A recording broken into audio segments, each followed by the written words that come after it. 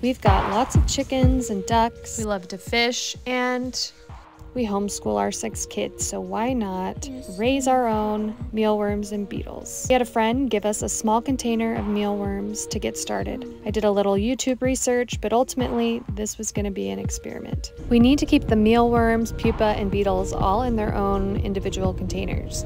Each container gets a bed of oatmeal for them to eat and to burrow in. The mealworm and beetle containers both get egg cartons for them to climb on and hide under. Then you place carrots or potato on the egg carton. This gives them another source of nutrition as well as hydration. Placing these moist items up on top of the carton keeps it out of the oatmeal and cuts down on mold and having to switch out oatmeal constantly. As mealworms morph into pupa, they need to be transferred to their own container, and same goes for the beetles. They need to be transferred from the pupa container to the beetle container. Every two to three days, we go through the containers to do transfers. We sift out sheddings, dead mealworms, pupas, and beetles, feed those to our chickens, and change out oatmeal as needed.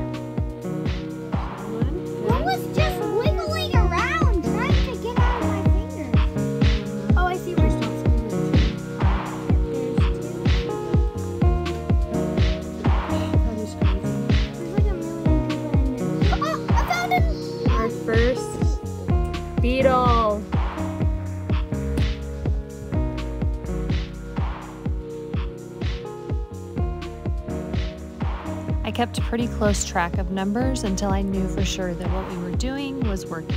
And then we decided to buy some more mealworms. We ordered a bag of 3,000 from Amazon.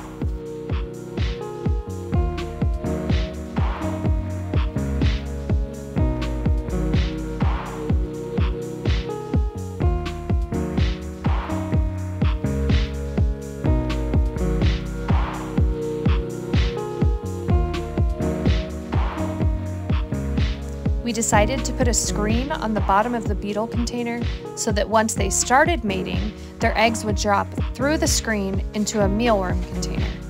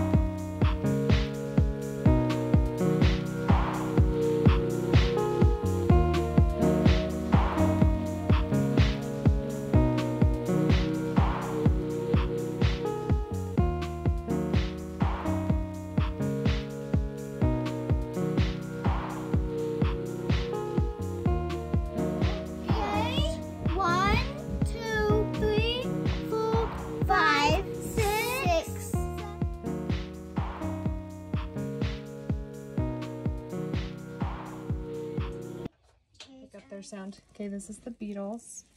Everybody completely quiet. No moving, no breathing, anything. Okay?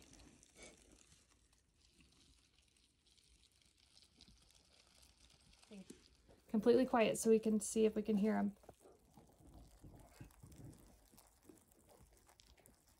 Everyone do their. No. We have beetles mating.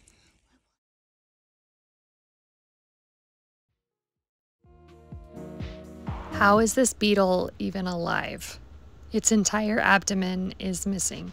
It was a while before we noticed any beetles mating, and then we weren't even sure if they were laying eggs or not. But we kept checking, and finally, we noticed the oatmeal was moving. And if you look closely, you can see teeny tiny mealworms. We did it. So if you have lizards, chickens, or some other kind of creature you're purchasing mealworms for, you might look into raising your own. It's pretty easy, and as you can see, it's foolproof. We're all about self reliance here, especially in this current political climate. hit subscribe and check out our other videos. It just might be worth it.